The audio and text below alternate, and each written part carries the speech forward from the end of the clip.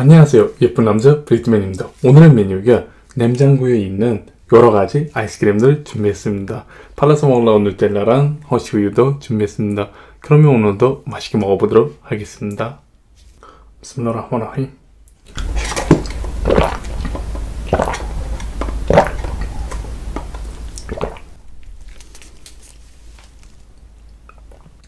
비스밀라흐마니라힘.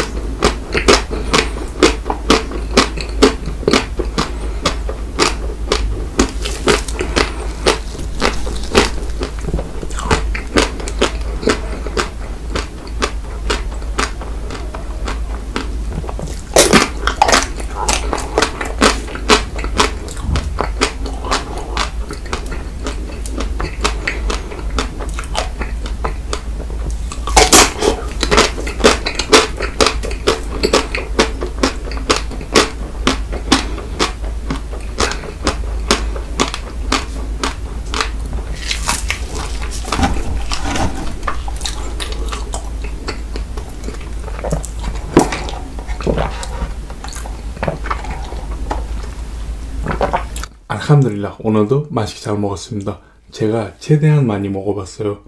너무 배불러요. 항상 행복하세요. 안녕.